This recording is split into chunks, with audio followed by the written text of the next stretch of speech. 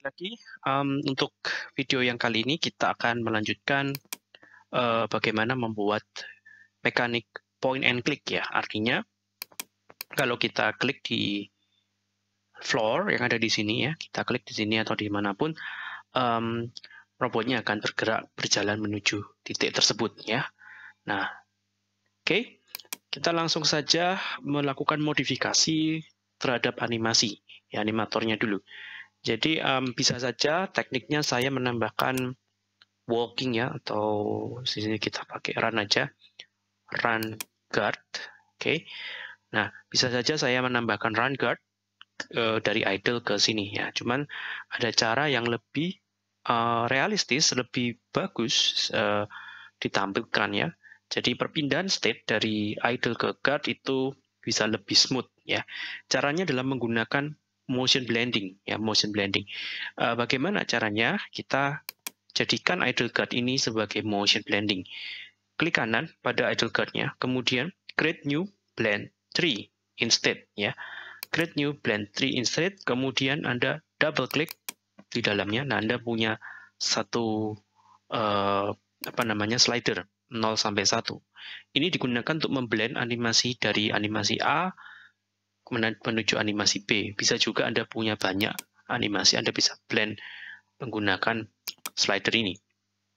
Oke, lanjutnya Anda um, lihat di inspektor di bagian uh, apa namanya blend ini ya di bagian blend Anda klik dulu blendnya Anda tambahkan dua motions klik add motion field klik lagi add motion field motion field yang pertama adalah anda klik dulu, Anda pilih yang idle, idle guard tadi ya, idle guard. Ini motion double klik yang uh, action pertama. Motion kedua tadi adalah uh, run, run guard AR. Oke, okay. run guard AR sehingga uh, blend tree-nya menjadi seperti ini. Oke, okay. kalau saya jalankan animasinya Anda bisa lihat, teman-teman. Nah, ini apabila uh, nilai dari blend-nya adalah 0, maka dia akan guard ya dia akan menjalankan animasi guard tapi kalau nilainya satu maka uh, animasinya adalah running. Oke? Okay? tapi kalau in between ya sebut saja 0,6 0,7 0,5 maka akan animasi yang tercipta adalah animasi blending antara idle dengan running. Jadi kita bisa mengatur uh, animasi yang dibuat mulai dari di idle hingga running ya dengan cara menggunakan blend tree ini sehingga kita bisa membuat perlambatan, percepatan dengan gerakan yang lebih realistis, bukan sudden move dari idle ke running ya. Ini suatu cara teknik yang bisa dipakai untuk membuat animasi runningnya lebih realistis, teman-teman. Oke, nah kita sudah siapkan ini. Oke, untuk mendeteksi uh, posisi dari uh, area layar yang saya sentuh ya area layar yang saya sentuh, maka kita perlu menambahkan action map yang baru. ya. Jadi Anda double klik warrior action map, kemudian kita tambahkan action baru yakni run. ya. Nah di sini bukan button press, melainkan kita mau pilih value, kemudian kita pilih vector 2. ya. Karena kita mau menangkap posisi dari sentuhan setiap saat begitu ya. Jadi di sini um, kalau press itu hanya satu kali klik begitu ya, button hanya satu kali klik. Kalau value ini uh, dia akan nangkap posisi di tempat kita touch setiap saat. Nah, untuk bindingnya kita akan pilih touchscreen. Di sini Anda bisa pilih primary touch positions. Ya, kita pilih aja positions, kemudian Anda save asset. Ditutup dulu. Kemudian um, seperti biasa, kita balik ke Warrior Handler. Teman-teman, di Warrior Handler ini kita perlu bikin callback functions untuk event run tadi ya, public void on run input action callback context ctx. Nah, seperti ini. Nah, di sini kita bisa debug log ya, menampilkan posisi koordinat uh, sentuhan di layar. Oke. Okay? Untuk itu, kita membutuhkan touchscreen objek ya. Anda bisa import atau seharusnya tidak perlu diimport, otomatis. Kemudian dot current dot primary thoughts seperti ini. Kemudian kita bisa dapetin position teman-teman ya. Kemudian kita bisa read value untuk posisi ini. Kurung buka, kurung tutup. Atau sorry, sorry, sebaiknya jangan seperti ini. Gini aja teman-teman. Nah, kemudian kita lakukan debug log. Debug log um, position plus touch dot position dot read value. Oke. Okay. Di sini kita akan me melihat di konsol log uh, koordinat x dan y lokasi tempat kita menyentuh layar. Oke, kita coba uh, balik lagi ke Unity. Di sini teman-teman jangan lupa agar agar si fungsi apa namanya on ini dijalankan, maka Anda harus memasangkan eventnya di uh, behavior ini ya, di player input ya. Anda expand dulu eventnya, warrior-nya di expand. Um, ada dua warrior ini sekarang punya dua dua ini ya, dua fungsi, dua action, yakni walk, uh, sorry, jump dan run. Oke, kita uh, tambahkan di sini, kita akan drag and drop ke sini, kemudian kita pilih warrior handler on run.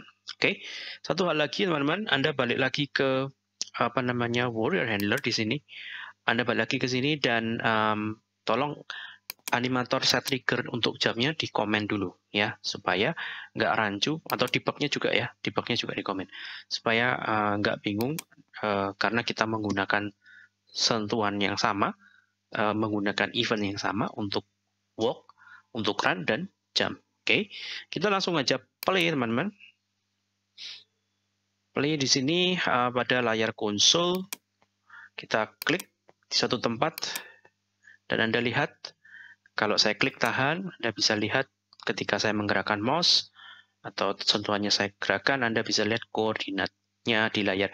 Teman-teman, ini uh, ujung kiri bawah adalah 0,0 dan ke kanan positif ya, ke atas juga positif. Hati-hati, ini adalah koordinat uh, screen space ya, screen space.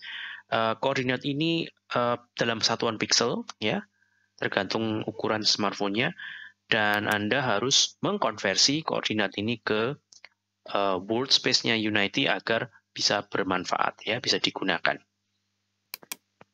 Baik, um, pertanyaan adalah bagaimana caranya kita uh, mendeteksi lokasi titik di uh, di, di bidang plane di rumput tersebut ya uh, dengan cara menggunakan touch input.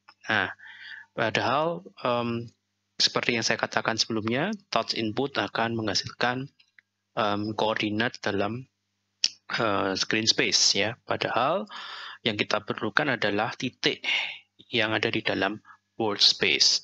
Nah, uh, tekniknya di sini kita kenal sebagai recast dan ini teknik yang sangat umum dipakai ketika uh, uh, Anda men, apa namanya mendalami game ya, game programming. Uh, Raycast ini dipakai untuk banyak hal, misalkan di game shooter, ketika kita ingin deteksi apakah peluru kita tepat sasaran atau tidak, kita bisa gunakan Raycast. Uh, dalam hal ini kita ingin tahu, ya dalam game yang tutorial kita buat ini, kita ingin tahu koordinat posisi uh, dari suatu objek yang kita klik di layar layar kamera kita. Nah, jadi Anda bisa lihat di sini anggapannya kameranya ada di sini. Kemudian uh, kita touch ya kamera yang screen space tadi. Yang dilakukan adalah kita membuat uh, menarik garis ya, macam sinar dari titik sentuh di layar tersebut, tarik garis uh, menuju ke infinite ya, menuju ke infinite until hit something, until uh, nabrak sesuatu ya. Nah, info tabrakannya bisa kita tangkap dan kita olah seperti ini. Jadi kita uh, tarik garis atau kita recasting, kita tembakkan sinar ke tujuan ya.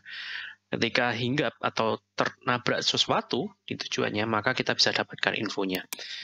Untuk uh, itu, di, uh, Unity memiliki fungsi yang berguna ya letaknya di kamera seperti yang anda duga bahwa recast itu uh, tergantung dari kamera ya posisi origin re originnya harusnya dari kamera tempat kita melakukan touching. Di sini ada punya kamera dot main screen point to ray dan Anda masukkan uh, apa namanya um, titik sentuhnya ya touch positions. Tentu saja tidak ada set ya karena vektor 2 aslinya ya touch position itu. Dan um, ini perintah untuk mengkonversi dari screen point dan menuju workspace dan bentuknya adalah dalam bentuk sinar ray. Kemudian untuk mendapatkan hasilnya Anda bisa gunakan physics.raycast di mana ada dua parameter yakni ray origin yang tadi ini yang kita simpan ray origin ini kemudian kita uh, punya variabel heat info dengan heat info ini kita bisa memperoleh informasi titik sentuh atau titik yang dituju uh, ketika ray-nya bertubrukan dengan suatu objek ya x y dan z dan um, kalau Anda ingin tahu kita nabrak apa gitu ya, uh, ray-nya nabrak apa, nabrak objek apa, kita bisa lihat tag-nya dengan cara hit info transform.tag ya. Kita akan buat mengimplementasikan raycast uh, untuk membuat mekanik point point and walk atau point and run dari tutorial kita. Oke, okay, balik lagi ke warrior handler. Di bagian on run ini kita akan menangkap apa itu namanya uh, ray originnya. Jadi Anda ketik ray, ray origin, sama dengan kamera, dot main, dot screen, point to ray, dan di sini Anda diminta untuk memasukkan vector tree. Vector tree-nya Anda bisa um, dapatkan dari touch, ya, touch position. Tapi touch position adalah vector 2 ya. Jadi mau tidak mau kita harus create objek baru di sini vector tree di mana koordinatnya kita ambil dari touch dot uh, position dot um, x, touch dot position dot y, tentu saja yang set adalah 0.0 f float ya. Ini mungkin saya akan enter ke bawah supaya lebih clear. Maaf, ini tidak boleh langsung .x, tetapi harus read value, panggil fungsinya. Ini juga read value. Oke, nah. Kemudian uh, kita akan jalankan apa namanya physicsnya, physics checkingnya, physics raycast checkingnya, uh, raycast uh, info kita siapkan variabel untuk menampung ini uh, sebentar. Ada yang salah ketik kah? Nah. Oke. Okay. oke okay, ini salah ketik harusnya seperti ini. Nah oke. Okay. nah kemudian kita checking if uh, physics dot raycast nah seperti ini. Teman-teman. Ada dua parameter yakni ray originnya kita pasingkan dan out hit infonya kita akan um, apa namanya kita akan pasingkan di second parameter. Out artinya uh, agar informasi hit infonya bisa dipakai di luar if ini ya. Bisa dipakai di luar fungsi if ini oke kemudian uh, di dalamnya kita apa yang bisa kita lakukan? Kita bisa memperoleh uh, ini apa namanya koordinat. Titik titik yang kita hit ya menggunakan uh, touch input ya kita bisa memperoleh itu. Hit info dot point dot x misalnya. Nah, teman-teman, um, informasi XYZ ini kita pakai sebagai destinations, ya, sebagai tujuan agar karakternya bisa menuju ke sana. Oleh karena itu, teman-teman, yang kita lakukan adalah kita perlu sebuah variabel global ya di sini agar um, kita bisa melakukan transformasi atau translasi uh, di fungsi update. Oke, okay? dan kita balik ke atas, kita create variabelnya private uh, vector 3 dash destination. Oke, okay? vector 3 destination. Kemudian kita uh, update destinations new vector 3 informasinya diambil dari hit point dot point dot x ya koma hit info dot point dot y dot y koma hit info dot point dot c oke okay? nah seperti ini teman-teman ya jadi kita punya destination vector dan kita bisa manfaatkan destination vector ini untuk membuat animasi transformasi atau translasi dari titik saat ini menuju ke sana. Untuk itu kita akan pindah ke update, teman-teman.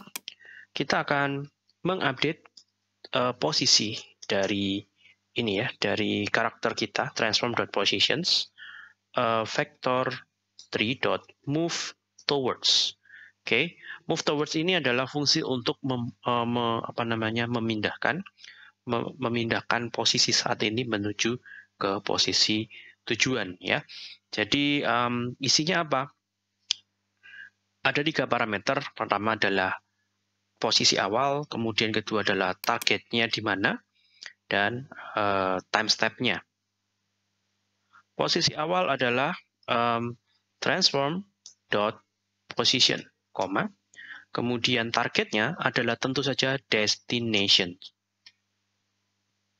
Nah, time step-nya biasanya kita manfaatkan delta time, ya, artinya kecepatan bergerak, ya, move speed, move speed dari karakternya kita kalikan dengan delta time.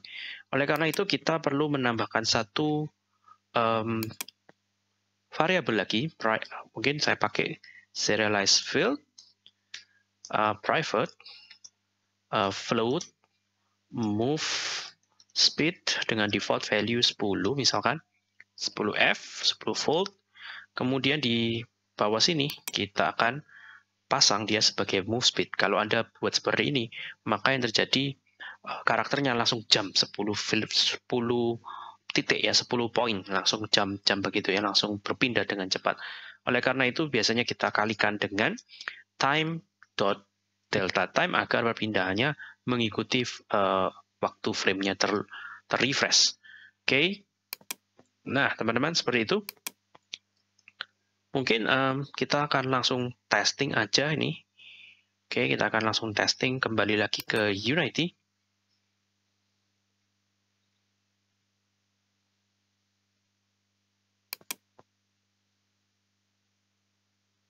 Oke. Nah, wah, kelihatannya too fast, teman-teman ya. Jadi kalau saya klik di sini, saya klik di bawah, saya klik di atas, ya gerakannya too fast. Nah, ini Anda bisa atur di um, move speed-nya. Misalkan Anda kurangkan jadi 5, misalkan. Ya, ini um, sedikit lebih lambat. Tapi nanti Anda kita akan coba-coba uh, angkanya ini ya cari. Karena kita harus menyesuaikan dengan animasinya. Kalau Anda lihat agak aneh gerakannya, kenapa? Karena uh, pertama tidak ada animasi walkingnya, yang kedua arah hadapnya juga salah, begitu ya. Oke, okay teman-teman. Nah, hit uh, recast-nya sudah berjalan, artinya kalau kita klik di area rumput, maka dia akan menuju ke sana dengan perhitungan recast uh, yang kita gunakan tadi. Oke, okay? untuk video selanjutnya kita akan menjalankan animasi, mengatur agar arah hadapnya menjadi pas. Oke. Okay?